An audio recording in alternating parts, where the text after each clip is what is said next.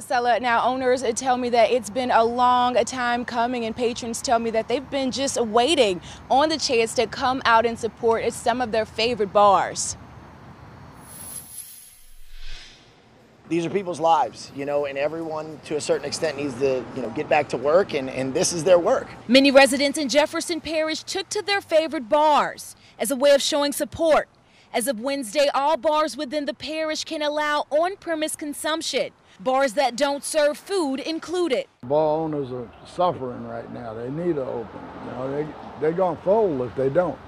The parish has had a COVID 19 test positivity rate of less than 5% for at least two weeks. It's what's needed to opt in on the phase three guidelines for bars reopening within the state. We have a week of 3.8 and a week of 3.7. Those are the kinds of numbers we need.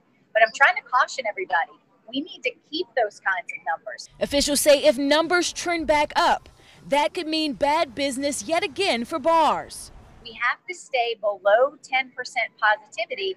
Otherwise, we risk having to close our bars and potentially other businesses. But there are some guidelines in effect.